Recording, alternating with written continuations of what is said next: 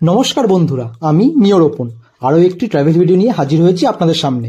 আজকে আমরা মহাশিবরাত্রি উপলক্ষে চলে এসেছি বারাণসীতে। বারাণসী হল ভারতের উত্তরপ্রদেশ রাজ্যের বারাণসী জেলার একটি শহর। শহরটি স্থানীয়ভাবে বেনারস এবং বাঙালিদের কাছে কাশী নামে অধিক পরিচিত। শহরটি গঙ্গা নদীর তীরে অবস্থিত। উত্তরপ্রদেশের রাজধানী লখনৌ শহর থেকে এই শহরের দূরত্ব তিনশো কুড়ি kilometre.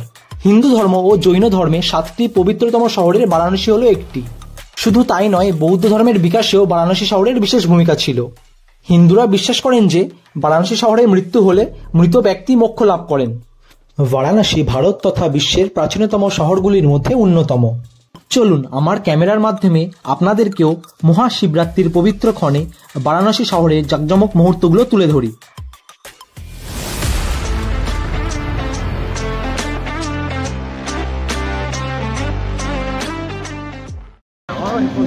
So good morning from Varanasi সকালের ট্রেনে আমরা বারাণসী পৌঁছে গেছি।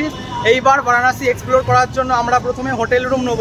হোটেল রুম খুঁজতে আমরা কাশী বিশ্বনাথ মন্দিরের কাছেই হোটেল রুম বুক করেছি। তো ওখানে গিয়ে কথা হচ্ছে। বাকি বারাণসী শহরটাও তোমাদের দেখাতে দেখাতে নিয়ে যাব। সো আমার সাথে আছে রাহুল দা। চেনো সবাই এনাকে? আর আছে অভিষেক, দিল্লি থেকে এসছে। অভিষেকের সাথে গিয়ে দেখা করছি। চলো। বারাণসী শহরে কতটা জ্যাম দেখো। এত জ্যাম এত জ্যাম কি জ্যাম পুরো রাস্তাটা জ্যাম পড়ে গেছে। যত দূরে দূরে দেখাচ্ছি পুরোটাই জ্যাম সো এত ভিড়ে টোটো রাইড থেকে নেমে গেছি আমরা। এত প্রচুর ভিড় ছিল। এখন আমরা মন্দিরের রাস্তায় হেঁটে হেঁটে যাচ্ছি। আর এই হচ্ছে আমাদের বন্ধু অভিষেক যার দেখানোর জন্য আমরা এগোচ্ছিলাম কেমন আছিস সবাই? আরে আমেরি যা আমেরি জান হর হর মহাদেব। মালটার মধ্যে প্রচুর এক্সাইটমেন্ট আছে মুখ দেখেই বুঝতে পারছ দিল্লি থেকে গরিব রথ চেপে এসছে। গরিব রথ চেপে এসছি। সো আমরা এখন মন্দিরের রাস্তায় আছি মন্দিরের পাশেই যেহেতু আমাদের হোটেল বা হোস্টেল বলতে পারছি না কি। সো আমরা হোস্টেলে গিয়েই দেখব যে কি আছে। বাকি মন্দিরের ভিউটা এখানে অসাধারণ প্রচুর লোক এখানে যাতায়াত করছে অলরেডি রাস্তার ধারে আমরা ভগবানের প্রসাদও নিয়ে নিয়েছি। এখানেই প্রসাদ এখানে সব জায়গায় দিচ্ছে। সো রাস্তার ধারে আমরা প্রথম বারাণসী এসে প্রথম বাবা মহাদেবের প্রসাদ। এরপর আমরা বারাণসীর খুবই সংকীর্ণ অলিগলির মধ্যে হাঁটতে হাঁটতে হোটেলের সন্ধান করতে থাকলাম।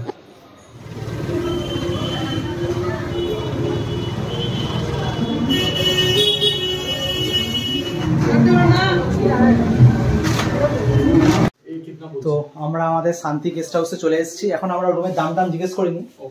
রুম না। রুমের দাম বলেছিল বারোশো টাকা তবে কালকে পে করতে বলছিল। তো আমরা ভেবেছি রুম দেখে আজকে ইয়ে করব। সো আমরা অবশ্যই হোটেল রুম পেয়ে গেছি। হোটেল রুম পেয়ে আমি তো পুরো স্নান টান করে নিয়েছি অভিষেকও স্নান করছে আর রাহুল দা এখানে শুয়ে আছে। সো যে হোটেল রুম পেয়েছি বারোশো টাকায় তবুও বানারসির পুরো একদম কাশী বিশ্বনাথ মন্দিরের একদম পাশে। মানে আমাদের ইয়ে থেকে আগে আমাদের রুমের লোকেশনটা বলছি। আমাদের রুম থেকে তোমার গঙ্গা এই যে সামনে দেখাচ্ছে। আমাদের রুম থেকে গঙ্গা পিছনে দেখা যাচ্ছে। ওয়েট আমাদের রুম থেকে এই যে গঙ্গা পিছনে দেখা যাচ্ছে। পুরো সামনে ও হো হো। হো পুরো সামনে গঙ্গার চর পড়ে গেছে। আর বিশ্বনাথ মন্দিরও এই দেখো, এইটা। তোমরা যদি দেখতে পারো, এই সামনেই কাশী বিশ্বনাথ মন্দির এইটাই। তোমরা ব্যাক ক্যামেরায় আমি ভালোভাবে দেখাচ্ছি। সো একদম একদম সামনে আমরা রুম পেয়ে গেছি, এত কাছে, এই এত কমে, এত ভালো রুম এসি রুম পেয়েছি এসি আমরা যদিও চালাবো না। তো বারোশো টাকার মধ্যে এত সুন্দর রুম পেয়ে গেছি, তোমাদের বলে বোঝাতে পারব না। রুমটা সিম্পলের উপর দিয়ে এই একটা খাট এক সাইডে আছে, আর এই আর এক সাইডে আটটা খাট আছে, রাহুলদা শুয়ে আছে। সিম্পলের উপর দিয়ে পিছনে এসি আছে এসি চালাবো না, আর বাথরুমও আছে। সো রুমটা খুবই ছোট এবং সিম্পল বাট বারাণসীর শহরের পুরো প্রাণকেন্দ্রে কাশী বিশ্বনাথ মন্দির গঙ্গার পাড়ে বারোশো টাকায় রুমটা পাওয়া জাস্ট খুবই ভালো লাগল।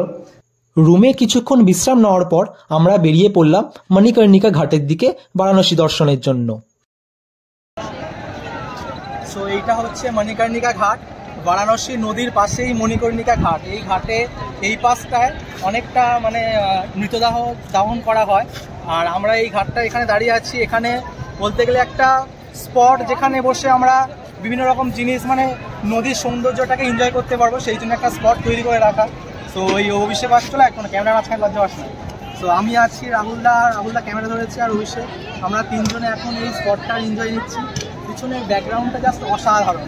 আর এই পিছনের নদী, এই দুটোর মাঝখানের কম্বিনেশন আমাদের এই হাজার বছরের পুরানো ঐতিহ্য এই বারাণসী সিটি হাজার বছর কিনা ভুল বললে আমাকে কারেক্ট করে দিও, হয়তো আরও পুরানো শহর হতে পারে। এরপর যখন আমরা দুপুরের খাবারের সন্ধানে কাশী বিশ্বনাথ মন্দিরের আশেপাশে ঘুরছিলাম, তখন একটি আঙ্কেলের পরামর্শে আমরা কেশরী নামের একটি রেস্টুরেন্টে নর্থ ইন্ডিয়ান থালি বারাণসীতে এসে ট্রাই করলাম।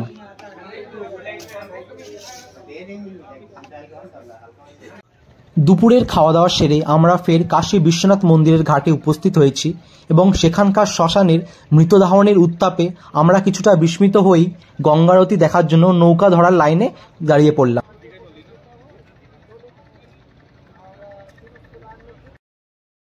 সন্ধেবেলায় গঙ্গা আরতি দেখার জন্য আমরা এখন এই বোট রাইড করতে উঠেছি। এটা আমরা ওই মণিকর্ণিকান না কি ঘাট? নামটা ভুলে যাচ্ছি, যাই হোক। তো বা কাশী বিশ্বনাথ টেম্পল এইটা। সো এই টেম্পলের যে ঘাটটা আছে এখান থেকেই আমরা দেড়শো টাকা করে আমরা ইয়ে নিলাম। আমরা সবাই এই রাহুলদা এই বসে আছে। দেড়শো টাকা করে আমরা এইটা পেয়েছি।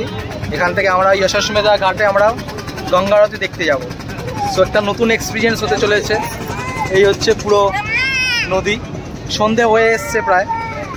সো অত ভালো দেখা যাচ্ছে না বাট ভালো এক্সপিরিয়েন্স হতে চলেছে। বাবা বিশ্বনাথ কি?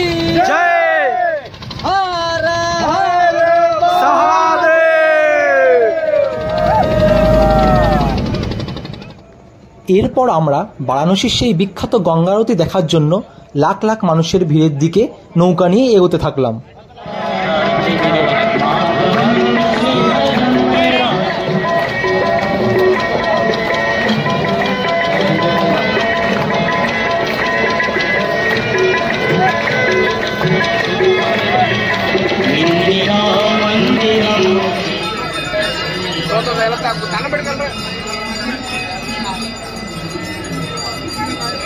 जयंती मंगला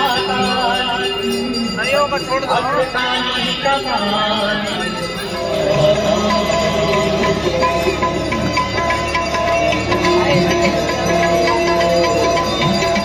Oh.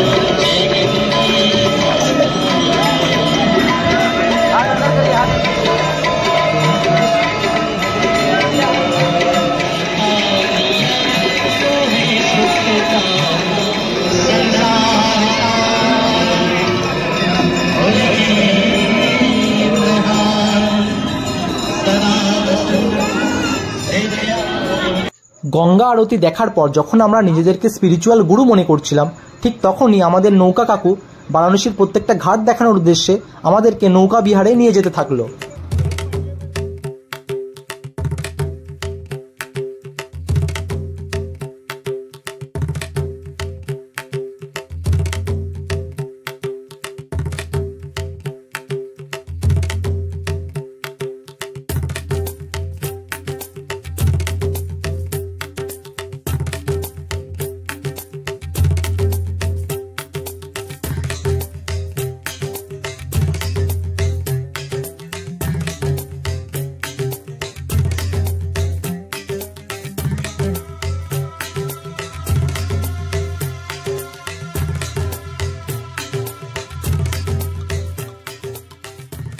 নৌকা বিহার শেষ করে আমরা দশাশ্মেধা ঘাটে পৌঁছালাম, যেখানে মেন গঙ্গারতিটা হয়েছিল। বারাণসী সিরিজের পার্ট ওয়ান আমাদের এখানে শেষ হলো। নেক্সট ভিডিওতে আমরা শিবরাত সম্পর্কে বিভিন্ন জিনিস তুলে ধরবো। আমার এই ভিডিও বানানোর পদ্ধতি যদি আপনাদের ভালো লেগে থাকে, তাহলে like comment share and subscribe অবশ্যই করে দেবেন।